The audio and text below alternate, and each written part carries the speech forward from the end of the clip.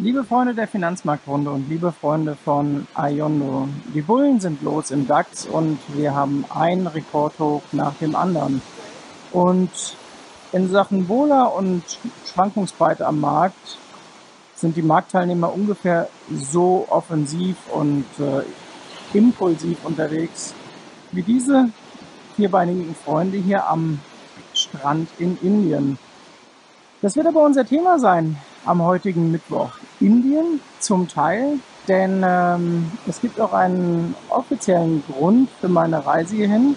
Ähm, nicht unbedingt die Kühe in Goa, wobei die natürlich auch thematisch sehr gut zum Bullmarkt passen, aber das Thema Bitcoin. Und äh, da war ja was in Indien. Stichwort ähm, kein komplettes Bargeldverbot, aber ein Teilverbot für Einheiten und ähm, große ähm, Akzeptanz für Bitcoin und Bitcoin ist hier groß im Kommen und äh, ja, es gilt sich hier ein bisschen umzuhören, finde ich, wenn man ähm, Bitcoin verstehen will und wenn man dann noch die Gelegenheit dazu hat, es hat sich angeboten in dieser Novemberwoche, dann ähm, ja, wollen wir darüber reden um 18 Uhr in der Finanzmarktrunde.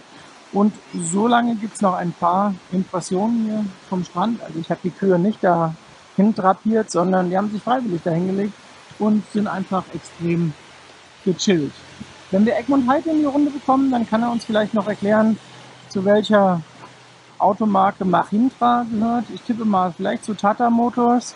Ähm, ich erinnere mich noch, die Aktie haben wir früher mal zu Börse Online-Zeiten ähm, besprochen. Auch die Autobauer werden wieder einen Blick wert sein, denn VW läuft und läuft. 2017 ähm, wurde schon abgeschrieben, geht aber richtig vorwärts.